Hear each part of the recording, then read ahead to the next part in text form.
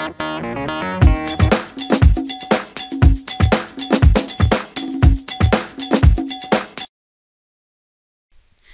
YouTube, Opinionative Reviewer here and in this video I'm going to explain to you how AT&T tracks unauthorized tethering on your jailbroken iPhone and I'm going to explain to you how you can hide it from them.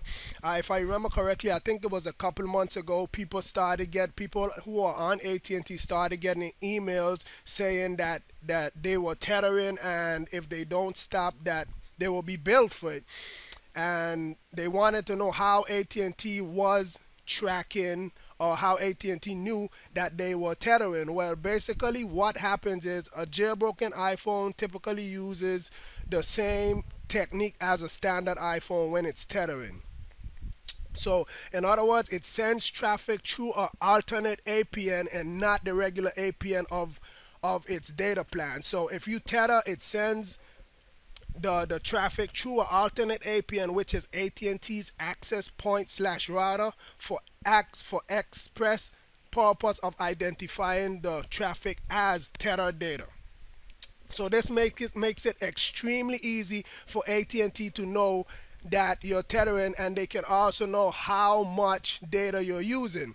So what you need to stop them from tracking this is an app or a tweak that can stop or hide this from them.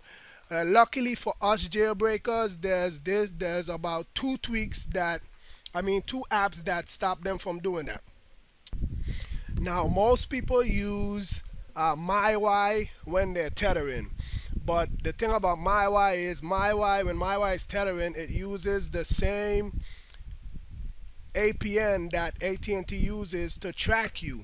It doesn't hide anything the app you need is this one right here on my iPhone screen which is PDA Net now PDA Net has an option in it the new updated P PDA Net has an option in it as you can see the option right down here to the bottom which is hide usage so you could just you click hide usage and it's it's basically saying level one is recommended for hiding the P, PDA net usage but you only use level two if you think or you believe level one isn't working. I don't have to worry about this because as you can see, I'm on Simple Mobile and tethering is free. yeah, but I'm just showing you guys, and this is one of the apps that you need. Another one, lady, it's TetherMe. Now, difference between TetherMe and this is this is free. TetherMe you have to pay for, but TetherMe you don't have to do any settings. TetherMe it it automatically uses the same one, the same APN that your data plan uses and not the alternative APN that AT&T wants you to use when you're tethering.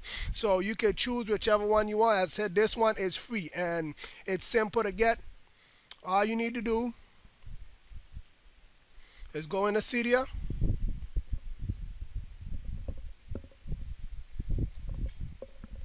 Let me wait for Cydia to load up and search PD sorry PDA net.